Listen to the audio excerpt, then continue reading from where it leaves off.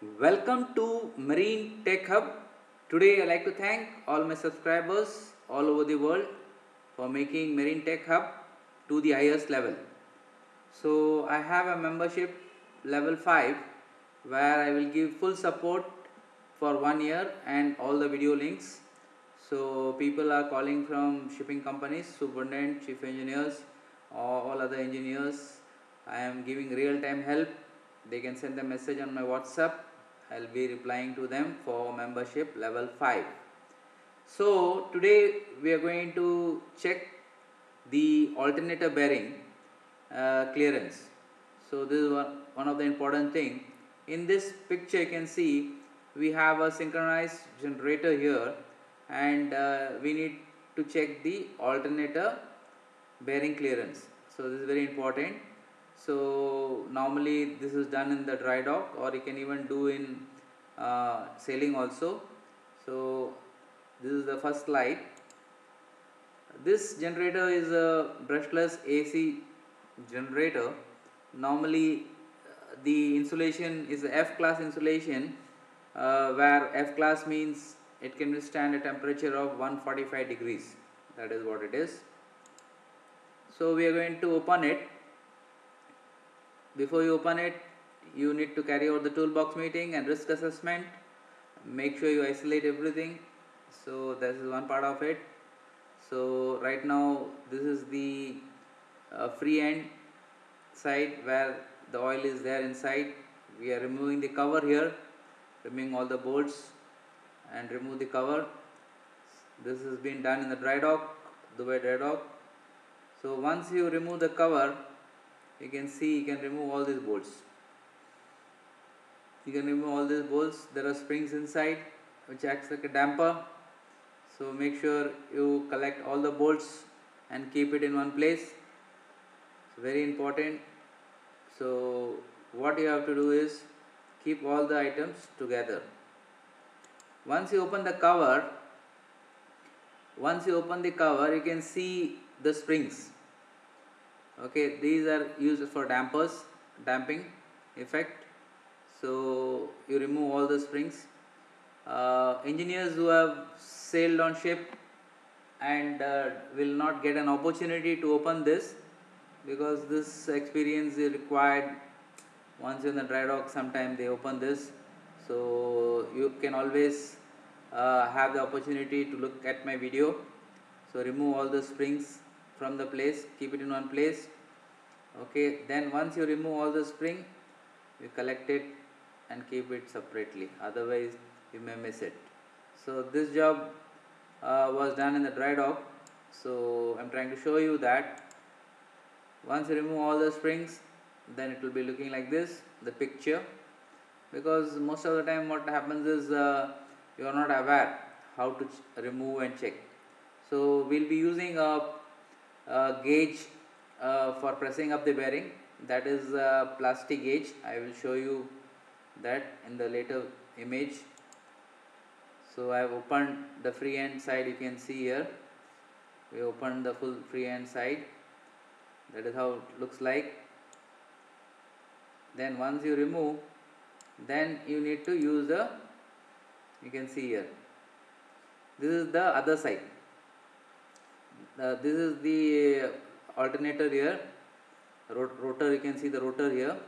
So I open the top cover here. The top cover here and you have the oil ring.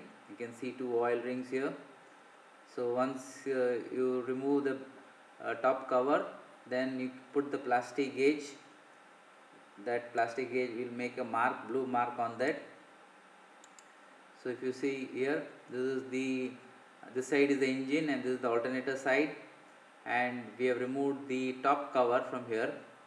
Okay once you remove the top cover you can see the ring oil ring you can see.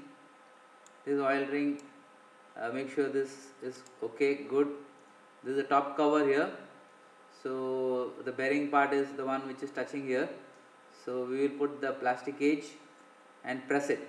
Once you press it the blue mark will come on here then use the okay so this is the oil ring here. So when uh, it is rotating the oil getting splashed. So make sure the rings are in good condition. Very important. So this type of experience you will get only when you are in the dry dock and uh, you are having an opportunity to look at it. So you can see this top cover removed. I am showing here then you can see the oil ring and you can see the oil here. You can see the oil inside.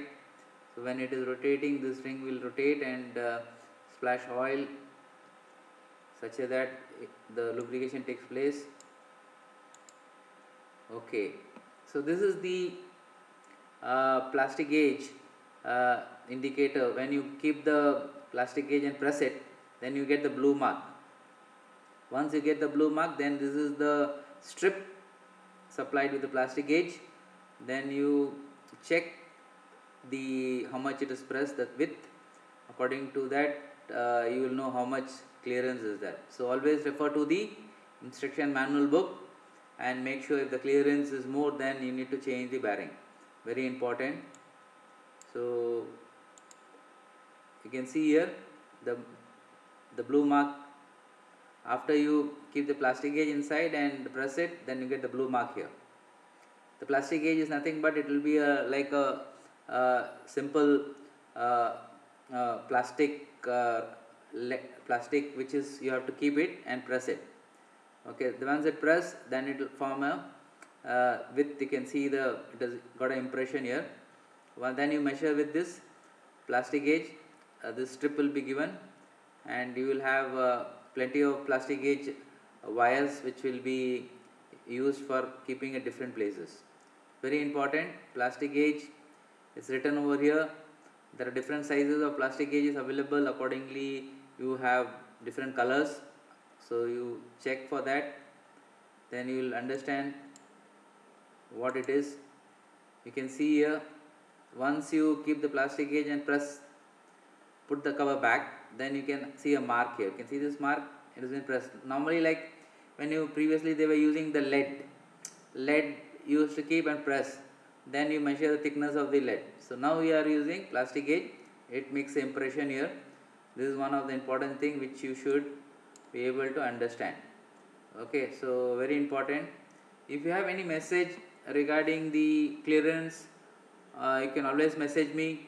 My email number is my whatsapp number is there email address okay and if you make payment to my bank account i will be giving you one month full support on board the ship and uh, full video links. Okay if you like the video please subscribe and have a nice day. Thank you very much